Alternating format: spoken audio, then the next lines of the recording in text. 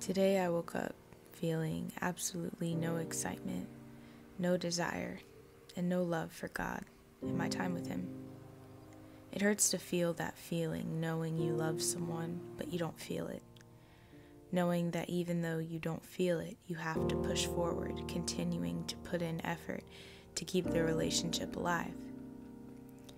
This morning, I felt like I didn't have the motivation nor the discipline to do so.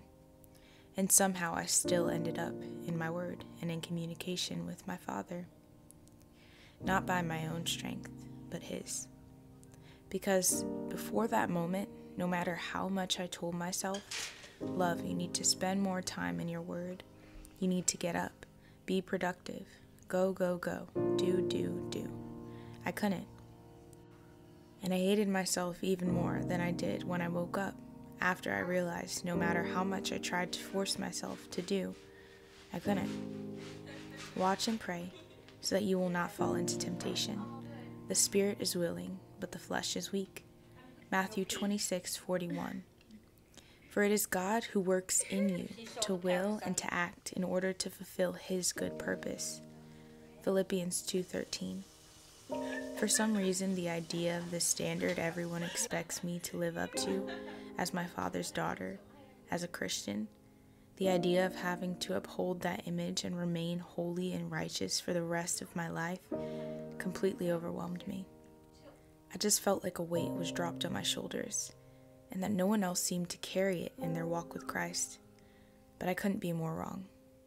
This walk is far from easy, and some days it's far from enjoyable. When I say this and I feel the way I felt when I woke up this morning, I feel as though I'm a bad Christian, a bad person, and like I'm not deserving of the sacrifice Jesus made for me. I look around at everyone else who walks with God and they look okay. They look like they're taking in and taking on the joy that the Lord so graciously placed within us with no issues at all. But I've come to the conclusion that although they may not show it, doesn't mean they don't experience it from time to time. It doesn't mean that they don't struggle just as much as I do to say yes to God every single day.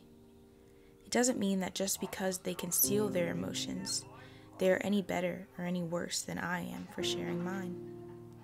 But I want you to know you're not a bad Christian, no matter which end of the spectrum you're on.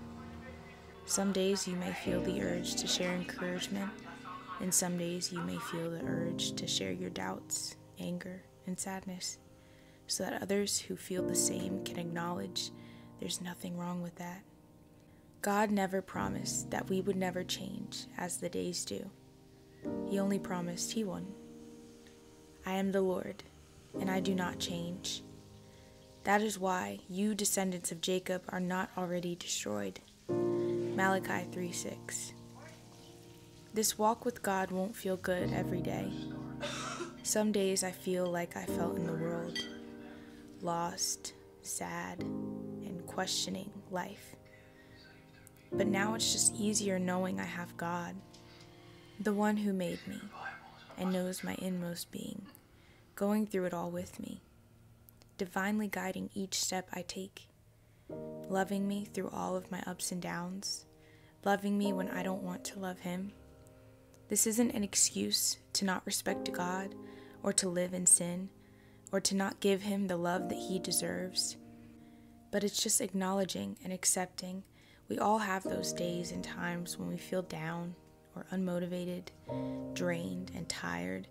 And no matter how much of the Bible we read, no matter how much time we spend in prayer, or how much time we spend worshiping, the tears and the pain in our chest still won't stop. This is why we have God. We try to work all the pain away on our own. And all He's saying to us as you're rushing and running around, trying to fix it, is Please just lean on me. Please just let me take care of it. Please just remember I'm here and that I'll never leave you regardless of how you feel or how you think I feel about you as you go through this rush of overwhelming emotions and thoughts. I don't see you as any less than any of my other sons and daughters. There is nothing you can do to make me love you any more or any less. I just want you to trust in me Use this time to lean on me and my strength, because your own is not sufficient enough. The fear of man brings a snare, but whoever trusts in the Lord shall be safe. Proverbs 29:25. We are safe with our faith in God.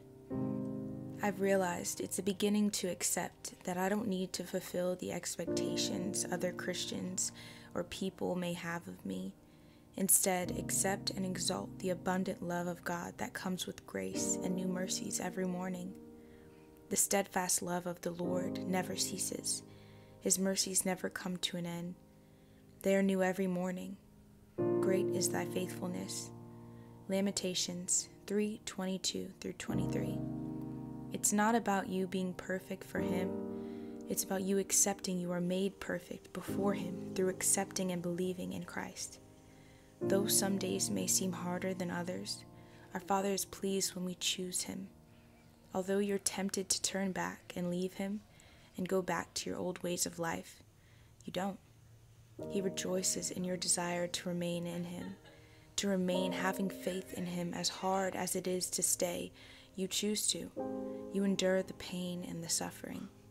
He is pleased to say that you still belong to Him that the schemes of the enemy didn't pull you away from him. That though the enemy may have a tight grasp on your thoughts right now, God has a tight grasp on you.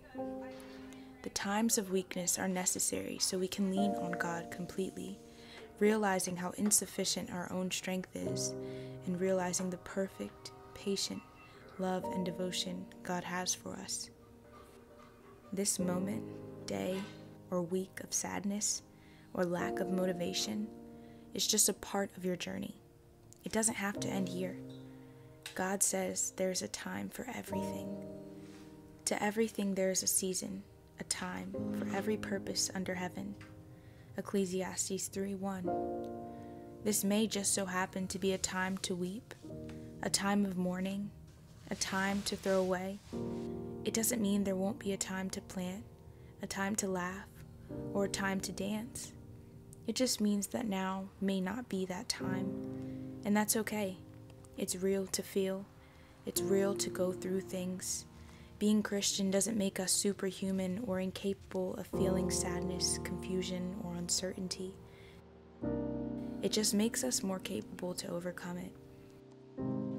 Because we're aware it's not by our strength, but by His.